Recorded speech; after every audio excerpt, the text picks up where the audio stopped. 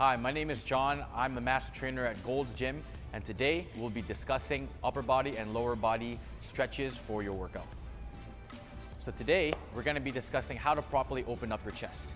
So you're gonna need a piece of equipment, something like a resistance band or a dowel, and simply just gonna pull it apart, wrap it around your head, and make sure you get a full stretch from your forearms all the way through the chest, all the way to the other side.